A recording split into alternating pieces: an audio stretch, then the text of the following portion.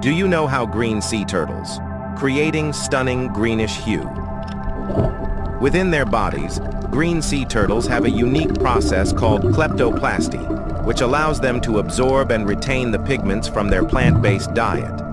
These pigments accumulate in their fat tissues, creating a stunning greenish hue. Can you imagine being an underwater luminary radiating a beautiful hue of green? It's like having a secret superpower.